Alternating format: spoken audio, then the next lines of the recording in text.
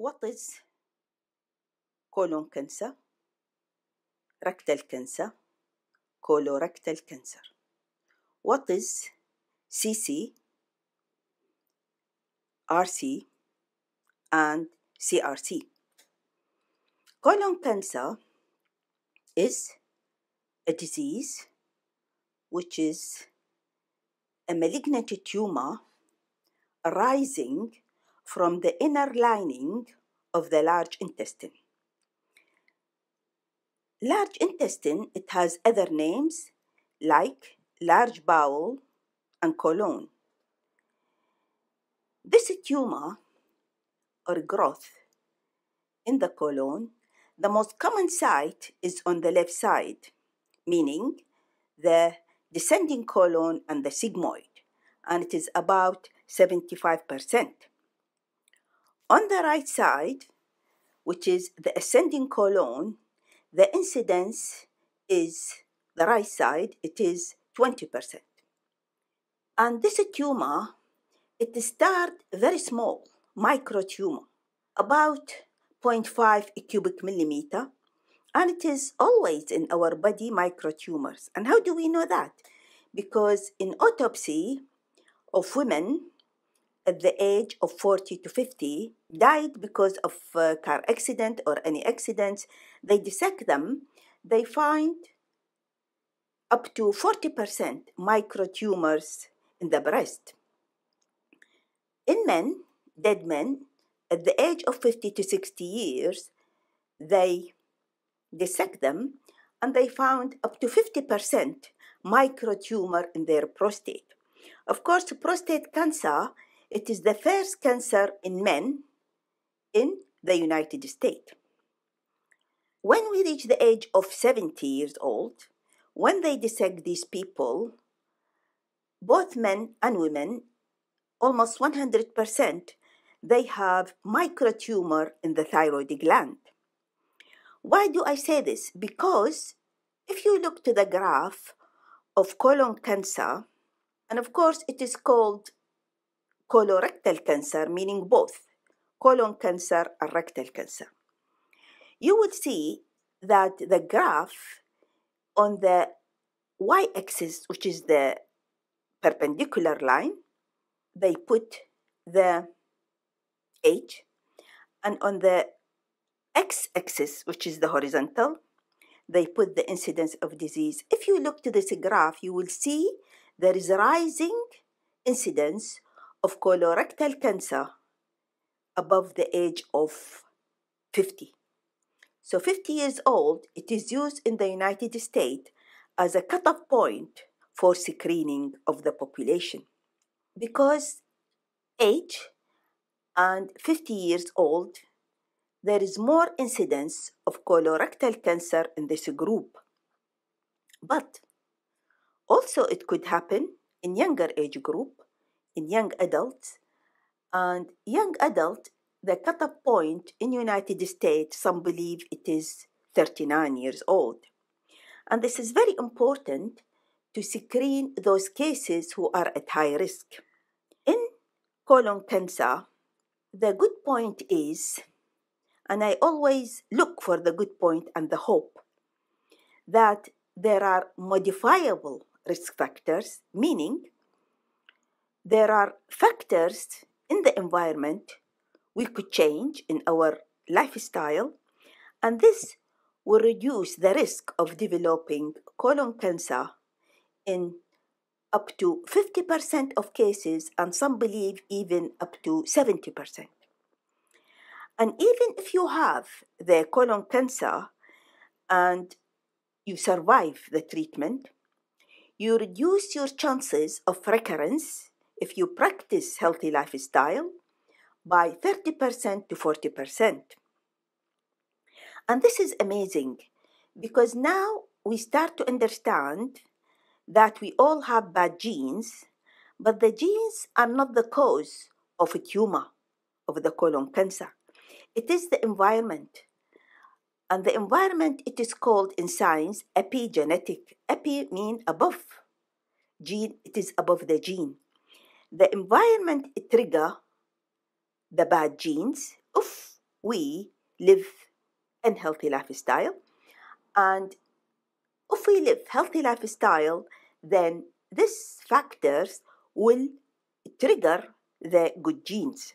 And what does it mean, genes and triggers and all this?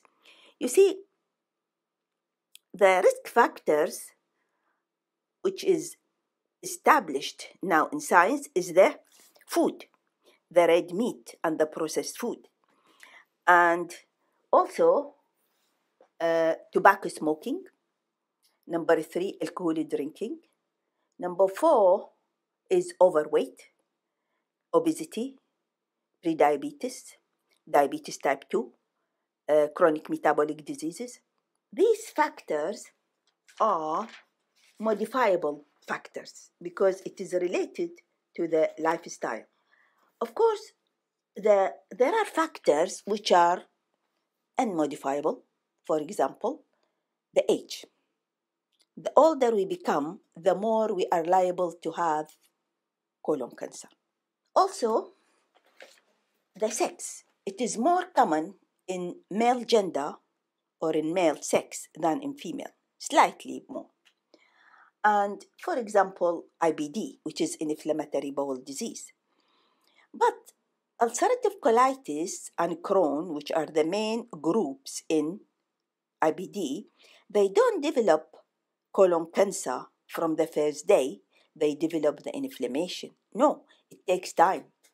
They usually develop the cancer or the colon cancer after 10 years of IBD or inflammatory bowel disease, and sometimes even after 20 years or 30 years, even if the inflammatory bowel disease is silent.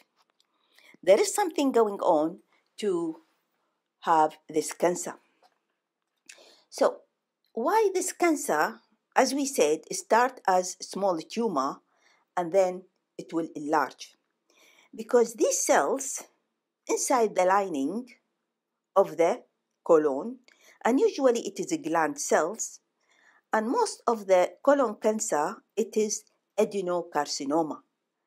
Adeno means glands and carcinoma in about 85% of cases, up to 95%, 90%. It depends which population you are studying, it depends which race you are studying, it depends the ethnicity, the ethnic groups, uh, the geographical area. For example, in the United States, they find that the African American, they have more incidence of colon cancer and they have high incidence of mortality rate than the Hispanic and the Asian group. Also, there is high incidence in people living in Alaska, much higher in people living in Enisk, and they think because these people they eat high fat and animal meat. You see, one of the modifiable risk factor is the red meat, processed meat like uh, hot dog, uh, sausages, fried food, French fries, high fat food, high salt food, high sugar food. If you want to have a cancer, eat more sugar. Because cancer love the sugar and the sugar give it energy to grow.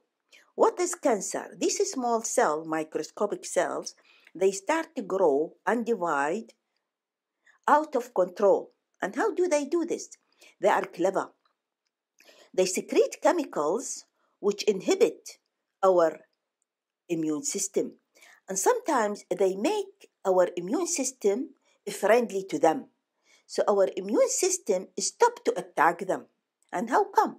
Because in our body we have mechanisms check and balance.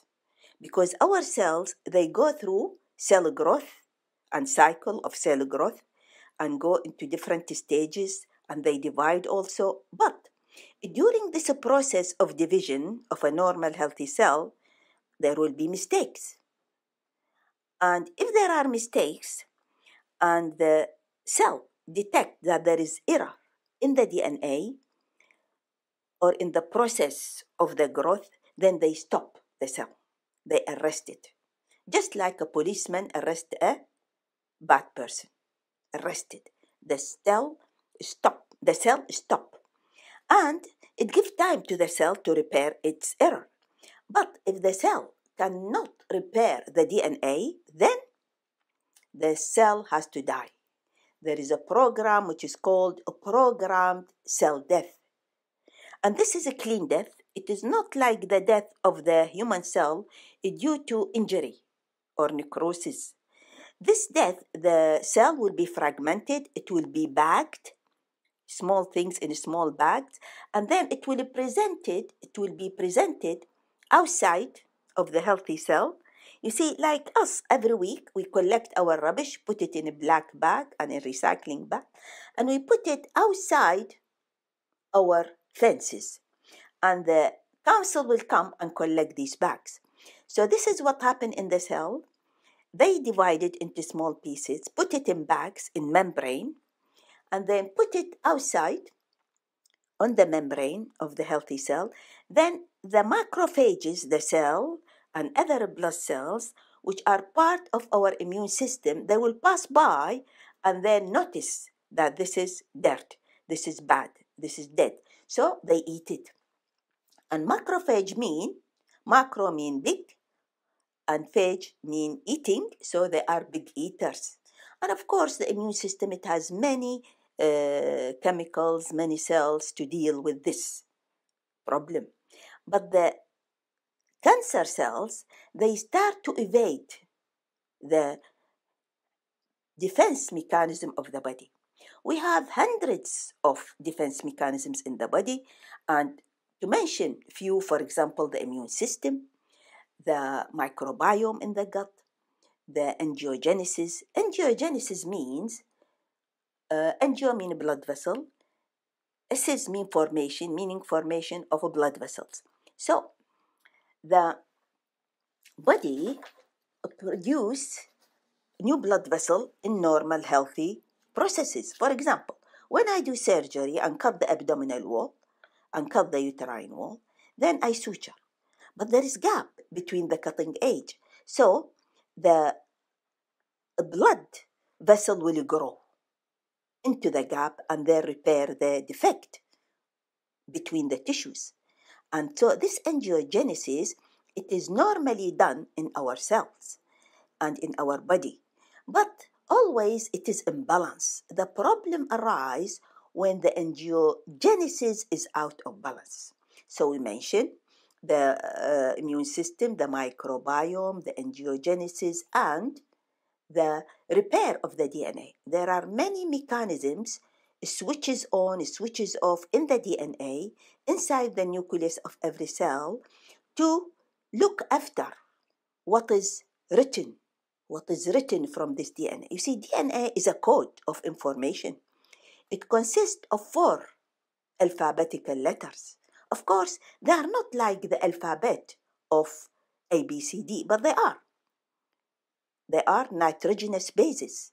And why they are called nitrogenous bases? Because they contain nitrogen atom. And these bases on the DNA, and why I'm talking about the DNA? Because the origin of cancer, it is changes in our in the DNA of the cell. And it is called the mutation, they change. So the DNA is usually is double strand, helix. Helix mean like a spiral ladder.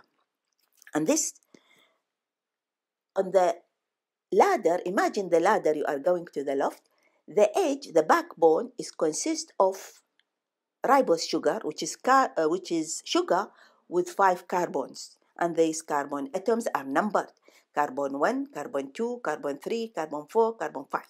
Carbon five is attached to phosphate group, and if you face this nucleotide, which is inside the DNA, if you face it face to face, then in front of you will be the ribose, sugar. And on the left hand side, the carbon number 5 will be attached to phosphate group. Carbon 1, it is attached to nitrogenous group. And carbon 2 is attached to hydroxyl group, OH. And this is in RNA, ribonucleic acid. But in deoxyribonucleic acid, from the name, D mean no, oxy mean no oxygen, and so it is the same like RNA, But carbon 2, it is attached to hydrogen. There is no oxygen. And this is good for the DNA. Why? Because the DNA is now stable. Less oxygen atom, less problem, so it is more stable. Carbon 3 is attached to hydroxyl group or H group in both DNA and RNA. So now we go to the letters which are in our DNA, which is the information of our life, of our disease, of our age. And these are written, and imagine it is books kept in the library. And the library is the DNA. And how this library organize these letters in these books. So if you look to the DNA, they are double strand, we separate it, we make it one strand, and then look. There is a nitrogenous group which is called C. Imagine it is capital C, it is rounded. It is paired with capital G. They are both rounded and they are both capital. Then there is another letter which is on the DNA, it is A. And this paired with, always paired, it is specific. It doesn't accept any mistake. It is paired with T. And how do you remember? You remember C and G because they are round, because you write them in capital letter, and you wrote them, you, we are talking English, then the opening is to the left. So you remember this. Of course, this is simple. This is not exact, but this is simple. And A, T, remember the at in your email.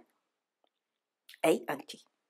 And now you got the four letters of your DNA, the genetic code of your life, of your disease, of your cancers, of your diseases, of your how long you live.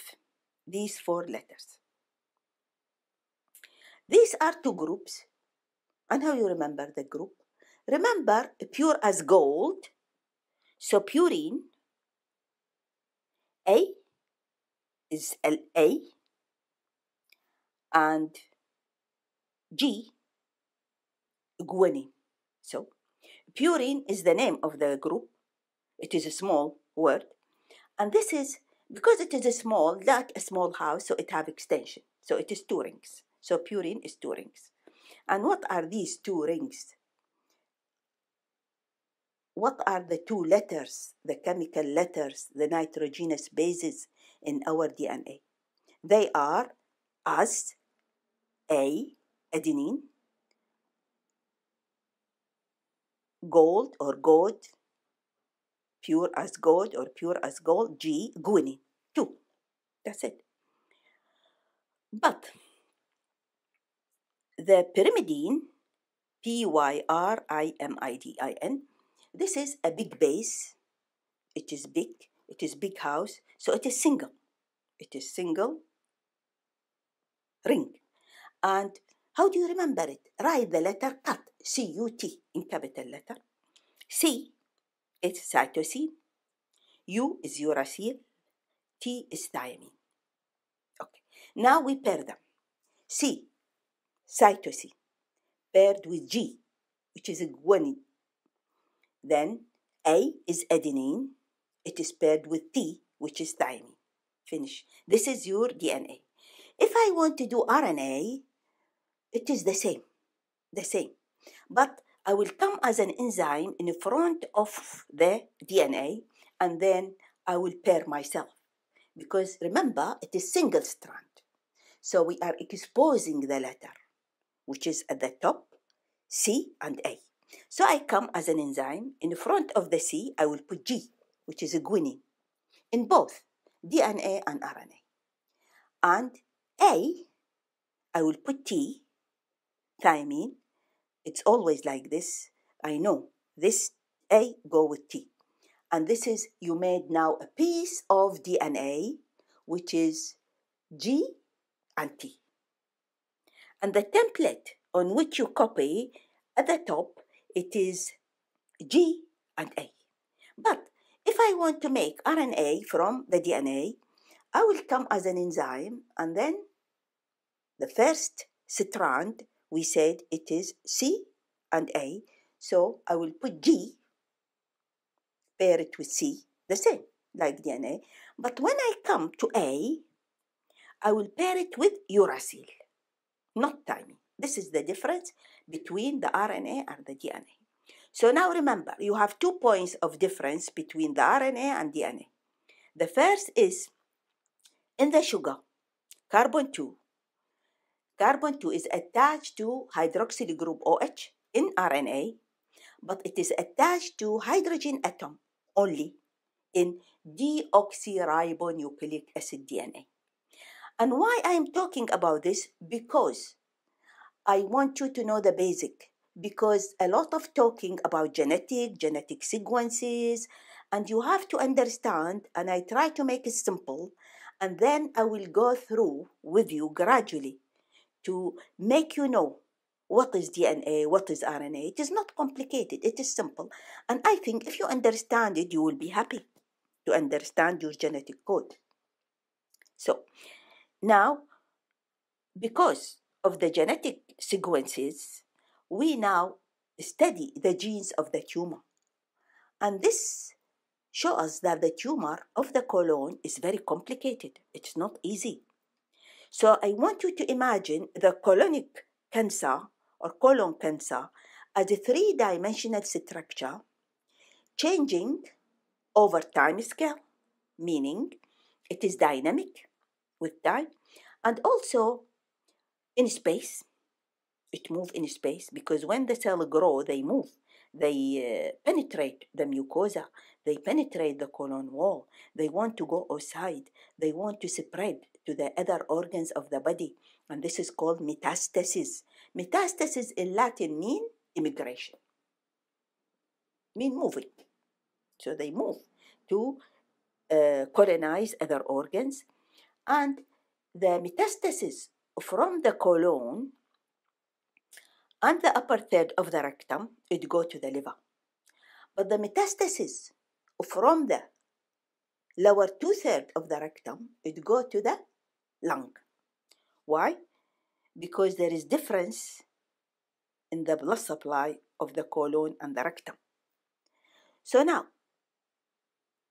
I want you to know that colon cancer is a tumor, malignant tumor in the lining or the inner lining of the colon, which means in this context is it is affecting the beginning of the colon, which is the cecum, which is the blind end.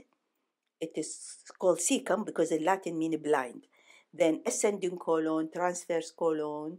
Of course, between the ascending colon and the transverse colon, there is a turn which is called hepatic flexure. Then the transverse colon, it come into splenic flexure, then come to the descending colon, then this is attached to the sigmoid colon. This is the colon cancer.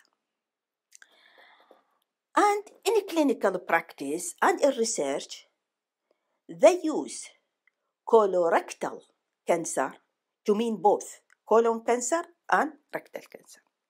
But now, there are a new school of thought, especially the German group, they think this is wrong. And there are two different clinical entities, meaning there is colon cancer and rectal cancer. Because sometimes what is happening now is some patient they have colon cancer and they write it down colorectal cancer, even if the patient has no rectal cancer. Or sometimes the patient has rectal cancer and then they write it down colorectal cancer, although they have no colon cancer. And why we think they are different entities? Because the colon is bigger it is wider. The diameter at the cecum is about 9 centimeter, but the diameter will, will become narrower as we go to distally. It is very narrow at the sigmoid. So as we go up in the ascending colon, transverse colon, descending colon, it becomes narrower. And it is longer. It is one uh, and a half meter or two meters, it depends. And so the space of the colon to be exposed to the carcinogen, it's bigger the space. So the concentration of the carcinogen in the surface area of the colon is less than the rectum. The rectum, if we take from the top of the rectum. Of course, the rectum is a three part the upper third, the middle third, and the lower third. And the upper third is attached to the sigmoid. And the lower edge of the lower third is attached to the anal canal through a line which is called dentate line. Dentate mean like a saw, saw teeth, saw teeth, dentate, like dentist. Anyway, if you see it in the anatomy or in the histology and under a microscope, you see the line is like irregular, irregular. It's not a straight line. So the why we say the rectal cancer is different from colon cancer and it should be documented like this because colon the upper third of the colon of the, the upper third of the rectum it is intraperitoneal and when we say intraperitoneal mean it is inside the abdomen and it is mobile. And it is covered by the peritoneum. And this make it easier for the surgeon. You know, this is very important in surgery. For example, if we study the colon, the cecum and the appendix, and the sigmoid colon, and the upper third of the rectum are, and the transverse colon are intraperitoneal, meaning inside the abdominal cavity, meaning they are covered by peritoneum, meaning they are mobile.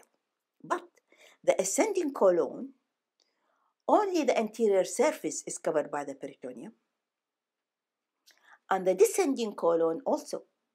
Only the inferior surface is covered by the peritoneum, and this makes the colon fixed to the posterior abdominal wall.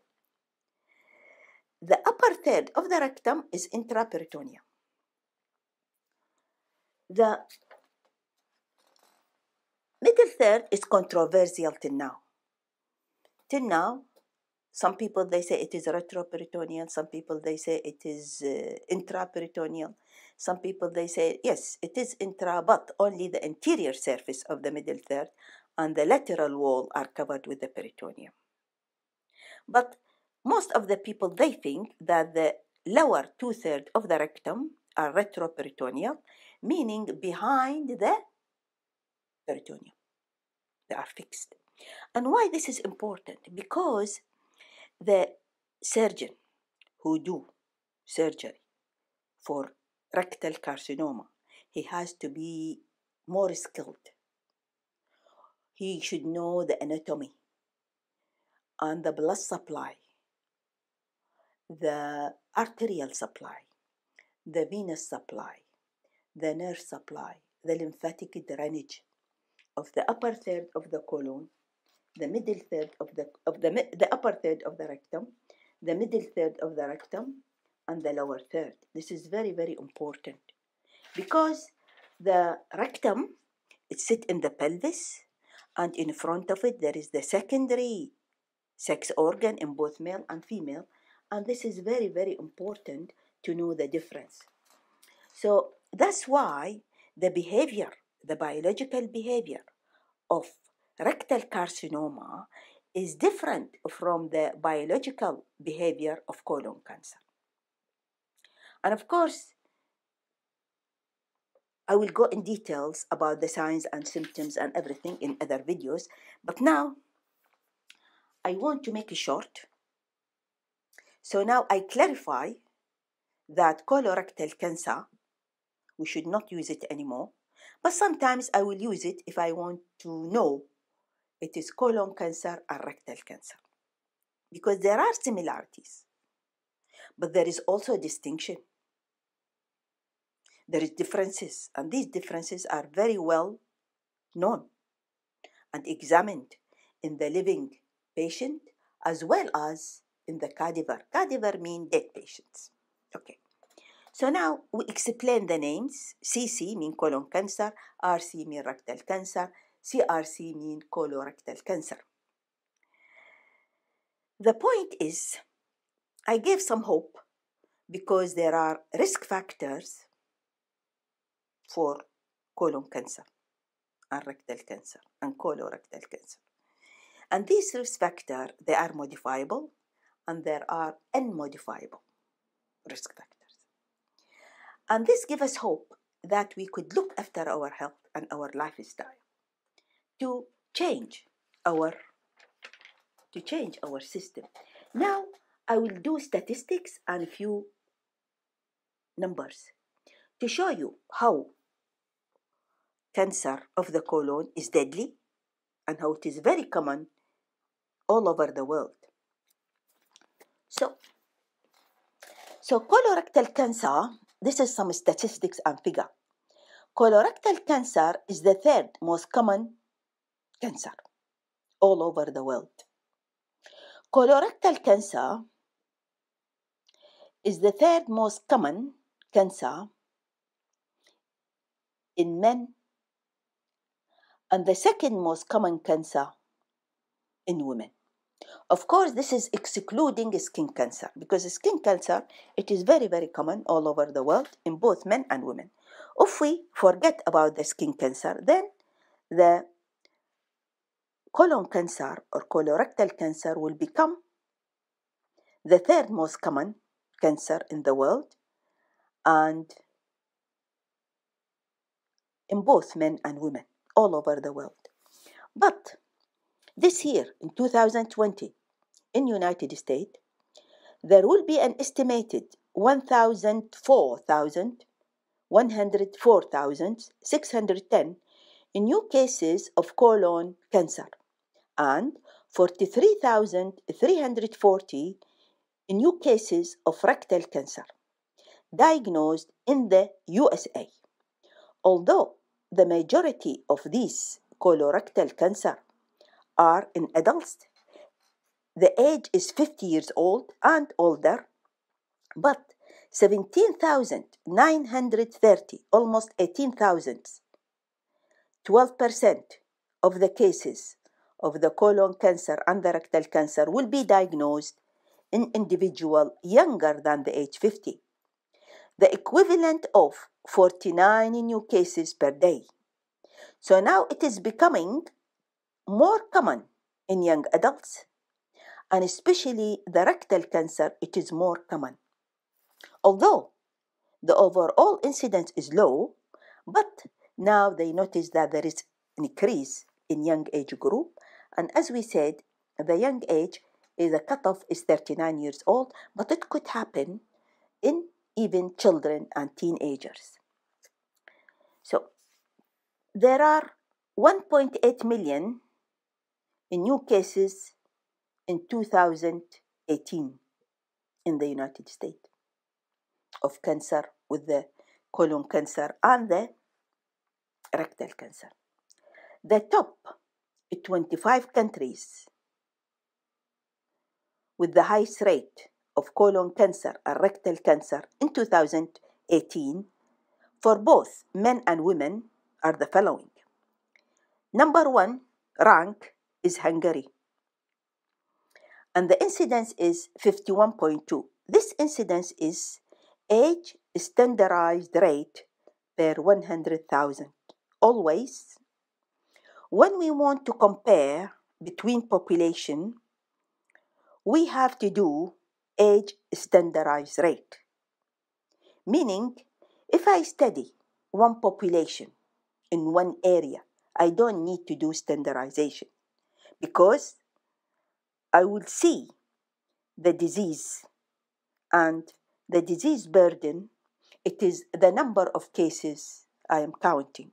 But if I want to compare between population, of different age group in different countries, we have to do standardization. And this means that there is difference in respect of the age. And the age has a profound influence on the risk of dying from cancer. So the age should be standardized so that we can understand the difference between different population and of course this is statistics and calculation it is done by statisticians. So the number one country is Hungary, 51.2. Second rank is South Korea, 44.5. Slovakia, which is part of Czechoslovakia, it is divided into Slovakia and Czech Republic, and the incidence is 43.8. And number four is Norway, which is 42.9. And then I will jump to Japan, which is number eight, 38.9, and UK is number 24. The incidence is 32.1, and number 25 is Belarus, which is 31.8. And this is all age standardized rate per 100,000. But if we study colorectal cancer in men, then the first rank will be Hungary, and the incidence is 70.6. Number two, Slovakia, 60.7. Number three, South Korea, 59.5. Number four, Slovenia, which is 58.9. Number seven rank is Japan, 49.1. And number 10 is Norway, which is 46.9. If we study colorectal cancer in women, then number one come Norway. So the age standardized rate per 100,000 population is 39.3. So women in Norway, they have highest incidence. Number two is Hungary, 36.8. Now, third rank is Denmark, 36.6. Number four, Singapore, 34. Number 10th, Japan, which is 29.6. 19th is UK, which is 27. And 20th is Ireland, 26.4. It is very common disease and it is deadly disease. And the good thing is that we could prevent it by living a healthy lifestyle. Of course, there are unmodifiable risk factors like, as we said, the age, male gender or male sex, the history of colon cancer in the family, the history of colon cancer in the same person. And there are, of course, genes in certain people which are bad genes for colon cancer. And this is it called it is called, for example, this it will make syndromes, and this is about 4%, 4 to 5% of the cases of colon cancer. And 1% is called familial adenomatous polyposis, familial F adenomatous A, and polyposis mean P. Familial family, adenomatous mean gland, polyposis mean many polyps. These patients, if you examine them, and usually they are examined early, not at the age of 50, earlier than this, because these patients, they are liable to develop polyps and thousands of polyps.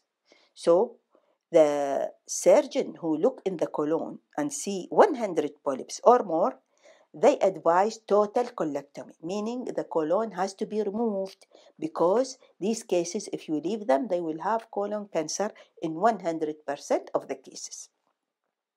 But if there is one colonus, uh, if one polyp, then they will cut it, send it for histopathology, and do the follow-up. The other gene which cause a disease which is called H, meaning hereditary, N, non-polyposis, C, colorectal, C, cancer. So it is written as NHPCC. And this is about 3 to 4% of colon cancer. So this high risk group, they need early screening. And to reduce the incidence of colon cancer, of course, changing in the healthy lifestyle and also screening help to reduce the incidence. But the problem is, for example, in the United States, about only one third they are screened and 60% they are not screened, especially the young people. So this is very important to tackle this point because young people they are not screened as the old. And screening is by many ways by colonoscope, which is the camera and the scope, and also by stool examination to see the blood. And there are specific tests which can diagnose human blood specific and not it is from the meat the patient eat. And also we could detect tumor markers, meaning a protein the tumor secrete, carcinoma embryonic antigen. meaning it is a protein, antigen is a, which is secreted when we are embryo inside our mothers. And why the tumor secreted? Because the tumor is dividing, it is growing, it is like a pregnancy. You see, tumors, you could, you could make them like a pregnancy. For example, the fetus develop like one cell, egg is fertilized by the sperm, then start to divide, like the tumor divide. And then when it become big, it need a blood supply. So it invade the uterine wall. It make the network of a blood vessel, which is called angiogenesis, meaning a new blood vessels are formed, a new formation of blood vessels. And this is called the afterbirth, the placenta. And when the fetus is growing, it secretes certain chemicals which make the mother friendly. The mother does not reject the fetus, although the fetus it's foreign to her, but she accepts it from the immunological point of view. She accepts the fetus to grow. And the same the tumor make with the body. It makes the immune body to accept it and tolerate it. And when the tumor spread, pass through the colon wall, then spread to the other organ, in a pregnancy, sometimes it happens the same. For example, the placenta sometimes in patients who have many cesarean section, the afterbirth will pass through the wound of the uterus and invade the wall of the uterus and go out to implant itself as a budding, as a new plant on the pelvis. And this is very, very serious condition, which is called placenta accreta. Placenta accreta mean accreta is adherent. And of course, this is grades. But the worst grade is when the placenta and the blood vessel transfers the uterine wall and go into the pelvis. And I have a patient like this, which I operated on her. Of course, the baby was alive, the mother is alive, but she needed 55 units of blood. And it is hell, the oozing, the bleeding. And how did I control the bleeding? Not from the first time, because it oozed. So I uh, pack the bleeders with gauze, with packs, then leave her in the intensive care unit. Next day, open the abdomen, take the packs, few days until the bleeding is stopped. Then I close the abdomen in layer. And how the abdominal wall heal? It heal by angiogenesis. This angiogenesis is very important to remember and to know because it is part of our physiology, it is part of our health, and it is very important also in our diseases because the blood is very essential to bring nutrient and oxygen to every cell of our body. And thank you very much.